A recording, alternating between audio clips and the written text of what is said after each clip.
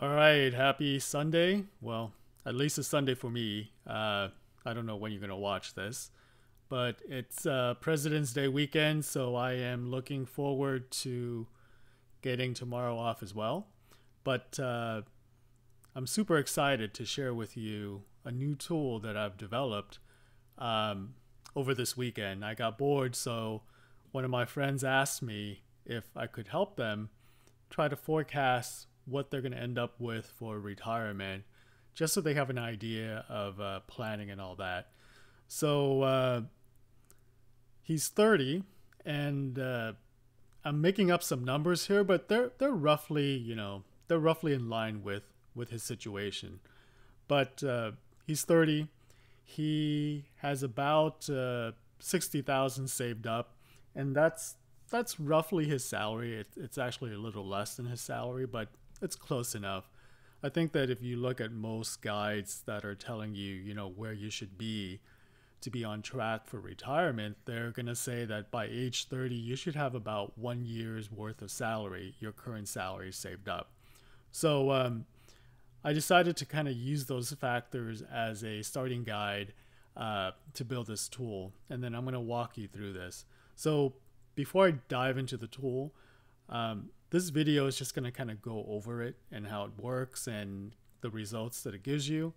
But uh, my plan is to make another video and maybe two, depends on how it goes, um, to actually show you how to build this yourself using Excel. All right. So back to our case study. Um, this is a 30 year old that makes, you know, 60 to 65,000 and they have roughly uh, one year of their salary saved up in retirement. So they've been saving a little bit, you know, since they started working. And uh, the savings is divided into tax deferred, which is uh, 20,000, and then a Roth balance of 40,000. So when you add the two together, it's about 60,000. In terms of contribution, um, they're getting a 3% match and over the year you know that would rise with their salary. So if you're making 60000 today and you're getting a 3% match it's only going to be $1800 but uh, this tool is uh, to help give you an idea of where you're going to go. So i it's hard for me to model you know 1800 this year a little bit more next year when your salary increases and then 20 years down the road you may be getting you know six or eight thousand dollars depending on your salary whatever right so I'm just picking 5,000 as an average. Um, I think it's pretty reasonable. And then in terms of after tax, you know, Roth contribution, um, because this this person is going to be contributing Roth, and instead of maxing out, because it, it can be tough to max out, you know, the uh, 401k um, contribution, um, I'm putting it at 15,000, which is you know close to his uh, his scenario. It's actually a little higher, but uh, it's something to aspire to, right? At 60,000 to put away 15 it is hard. It's uh, 25% of your salary. You, you can do it. People in the fire movement have done have done even uh, more, but uh, it's something that is definitely doable, and it gets easier as your income rises. But uh, for this model, I'm just going to assume that it's 15,000 uh, a year and then I put inflation in here at 2.5%. Pretty reasonable. So uh, we're going to stick with that. And he's 30 now. And we're going to have this go for 34, 35 years. So when I go all the way to the right here on the timeline, you're going to see that it gets to like 20, 54, 55, right? Um, so roughly 30 years, and then he's going to retire at 65. And then the model does the rest. Now, the reason I'm super excited about this model is that normally when you're doing a Monte Carlo uh, simulation, you have to write a macro or you're, you're you know, writing it in uh, Python or something like that. But with this model, which I'm going to show you guys in uh, how to build it in another video, um, it doesn't use macros at all. It just uses built-in Excel features. So, uh, and it works really well. So in any in any case, let's kind of walk you through some of the variables. Um, what I thought I would allow him to do is just change the cells in yellow. I mean, he can change anything he wants in here, but for for our purpose, it's really the cells in yellow that you have to change. So your beginning tax, you know, balance, Roth balance, after tax savings if you have any, your contributions, and then pick an inflation rate. Um, the model is built on the S&P 500 returns, and I actually have a sheet in here that uh, gives you the returns from 1926 all the way to 2019. So the last full year that we had this return is uh, with dividends reinvested. Okay. Now the toughest thing to do is to pick what time period um, you would use for the model.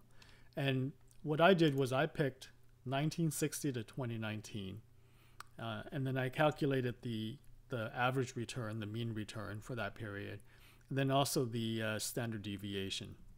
So why did I pick this time period? Well, I have several reasons. I mean, if you go back to 1926, uh, the the average return since then is going to be pretty high. It's like 13 something. I'm going off memory here, but uh, it, it it's pretty high. Let's let's actually take a look and see. Um, 12%. Okay, so I'm, I'm off a percent, but there was some time periods when it was like in the 13s, and I felt like that was uh, just a little bit too high. The other reason that I wasn't as comfortable going back to 26, 1926 is that, uh, you know, that's a long time ago, almost 100 years, right? And the environment was completely different, you know, monetary, fiscal policy, all of that, interest rates, what have you. The, the world was just different. And I don't think we knew as much back then in terms of, you know, market theory and all that. Um, so I'm not quite sure that the returns were representative. Uh, and then again, if I went back to you know something that was a lot more modern, like in the last 20 years or 30 years, um, the rate of return drops dramatically. So if I did like you know 2000 to to 2019, um, 20 years, it's like 8.3 percent with dividends reinvested, and that seems too low. So this bit is more art than science, but uh, I feel like this is this is reasonable, and when I look at the results that is uh, being returned by the model, and I also compared it to my own situation. I'm I'm not 30, you know, but um, I have a lot of historical data that I've been tracking. So I went back and kind of looked at how the model performed based on my own inputs, and it was actually pretty close using these rates. So I'm comfortable um, leaving these inputs there. And then what happens is that the model will give you a forecasted um, end balance when you retire in today's dollar. So it's inflation adjusted, and it also calculates the uh, compounded annual growth rate for for the portfolio. Now this is a little bit higher than the mean return, just because you're making contributions, and this is really not accounting for that. Okay, so keep that in mind. But basically, what happens is that uh, I run a thousand scenarios, and then I plot what the balance would be in 35 years, um, with the median balance in this dark blue. Okay, so this is kind of the average balance that you're going to end up with in today's dollar. So it's adjusted for inflation, and then you see the three lines here: green, yellow, and red. Um, the red line is the worst case scenario. This is the 5 percentile. And the way you can read it is that 5% of the time, you're going to end up with this value, which is uh, just under a, million dollars after 35 years, given all of these input.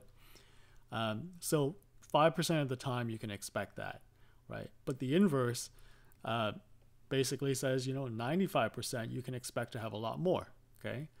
When we jump to yellow, this is kind of the 10 percentile and uh, I call it the 10% worst case, and it gives you a value of about 1.3 in this case. Um, you know, so you can kind of take that and, and give you some sense of uh, how comfortable you should be. And then the green line is just the 25 percentile. So this means that 75% of the time you're going to end up with more than this. Okay. And then again, that blue area is just the average. On the right here is the Monte Carlo distribution of the 1000 scenarios that it's running. Um, and to be honest, it's really 255. There's a limitation in Excel in how many series you can graph, and it is 255. So rather than uh, showing you all 1,000 scenarios, it's only 255, but it's pretty representative of the distribution. And uh, what this does is that it gives you an idea if there are any outliers that may be skewing the end result upwards or downwards, right? So in this one, you can see that uh, there's a green line that forecasted that you would have ended up with 130 million dollars by, you know, age 64, 65. And yeah, that could happen, but uh, you know, in reality, uh, it's not very likely, right? It's one out of a thousand scenarios. So, you know, you can do the math here. But what you do see is that there's a bunch of them that are clump right here. So the way this works is that as I scroll down, um, these are my results for each year. So you have the, the average, the median, I NPV it, so I adjust it for inflation. And then uh, it also gives you standard deviation. These are statistical terms that I'll go over in more detail when I show you how to make the model. But for now, you can kind of just think of how much the uh, result varies within the result set. And then down here, I calculate the percentiles at 5%, 10, and 25. And again, I adjust that for uh, inflation as well. And then down here is where it gets pretty gnarly. These are the different scenarios uh, and different end balances for the different runs. So as you can see, I mean, this is going to go to a thousand uh, iterations. Okay, but once you have this set up, you can change the input as you like. And uh, the way this is set up is that I made the sheet calculate manually just because there's a lot of calculations going on. And if you have it as automatic, which is kind of the default for Excel, every time you make a change, you're going to wait for a second while the whole sheet updates. But if you want to uh, manually recalculate the sheet and just see what happens when you run a different set of a thousand simulations, you can just go to the formula tab and uh, click calculate sheet and it'll basically just rerun it. And it does it pretty fast. I'm going to do it right now. So uh, in this last run, the forecasted end balance was 3.428 million.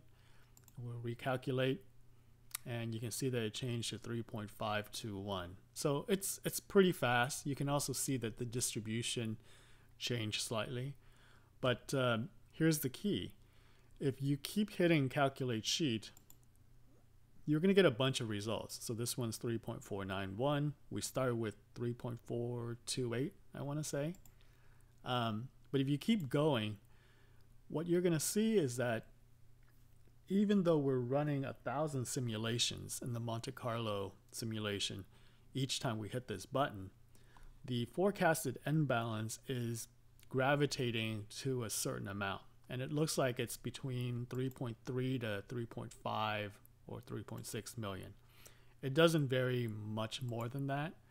Um, and this is really great because what this is saying is that for many, many different uh, scenarios, you're going to have a decent comfort level that you're going to end up around this value, this forecasted balance in 35 years.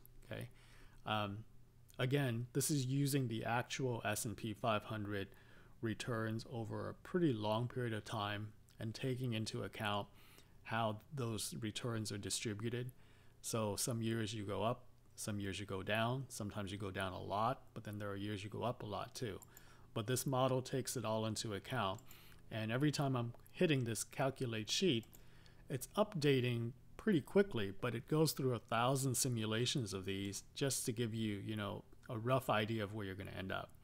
And like I said, I think that, you know, for this case, we're oscillating between 3.3 million up to a high I saw of 3.7. So it's going to be somewhere between there. Oh, this is the lowest I've seen, 3.3.2. But, uh, you know, if I had to guess, I'm going to say that you're probably going to be around 3.4, given everything that, that we've inputted. So if you want to try this for yourself, um, watch my next video to see how this is built. And I may just throw this up uh, on a link to share too, but you know, you can play around with this and say, well, I don't have 60,000 saved up. I have something like, you know, 40 and it's split, you know, 10,000 um, tax deferred and 30,000 Roth. I'm going to get the same match and I'm going to contribute the same and let's see what happens. So you can change those input and recalculate.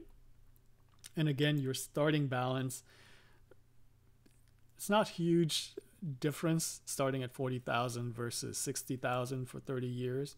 What happens here is that the contributions play a much bigger factor in the end result than the starting balance. So, you know, if we were going to do a what if and say, you know what, it's going to be really tough for me to save 15,000 a year on average.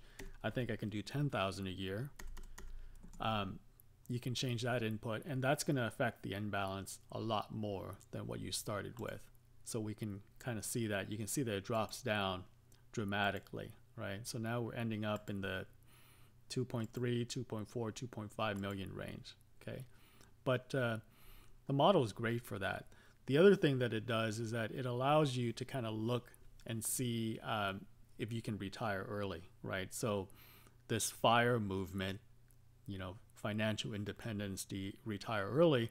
Um, there's a lot of people that are starting to look at that and uh, what this allows you to do is that if you're 30 now, and this is your scenario, uh, you can see that you know in in 20 years, in 2040, you're you're basically going to grow from 61,000 to 845,000 in today's dollars, right? So based on your expenses and a safe rate of withdrawal and all that, you can also use this model to figure out when you could possibly retire early if that's your goal rather than you know going the whole 30 years right? So that's the other thing it does for you. I highlighted this um, median npv uh, line. So this is the median value that's inflation adjusted back to uh, you know today's dollars. So that's another way to use this uh, use this model. So anyways i hope you find this useful and check back with me next week where i'm going to do kind of a live video as I build this thing pretty much from scratch. All right. I hope you enjoy. See you guys later.